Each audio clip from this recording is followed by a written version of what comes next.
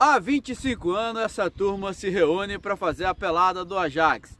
Confira como foi aqui em Goiabeiras essa festa do futebol amador capixaba. Uma alegria poder todo domingo gente ter um compromisso, uma responsabilidade de vir é, é por hora de chegada e não tem esse negócio de dizer porque eu quero jogar mais do que o outro. Para poder jogar ele tem que chegar até às seis da manhã e por hora de chegada. E o, o, décimo, o vigésimo, depois entra quem chegar no vigésimo segundo. E assim por diante.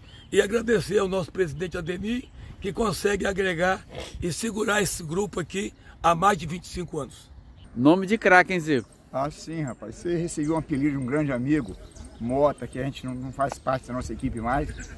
Mas é jogar com a galera aqui é muito bom. A gente o pessoal sabem jogar, então fica fácil pra gente, entendeu? Adriano, essas duas assistências do Zico, dois gols. Bom, o cara é parceiro antigo aqui, né? Apesar tem dois anos talvez aqui, mas o pelado é muito bom, os caras 10. Aí graças ao Zico aqui.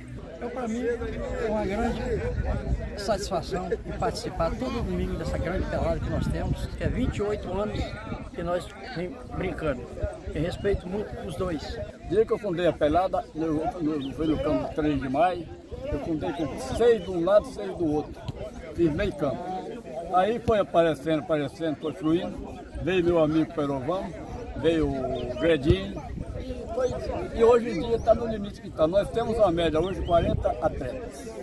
É que chova, que faça sol, inverno, verão, feriado, nós estamos aqui no campo para poder compartilhar esse domingo que é um gênio mental nosso, para poder participar com esse grupo maravilhoso.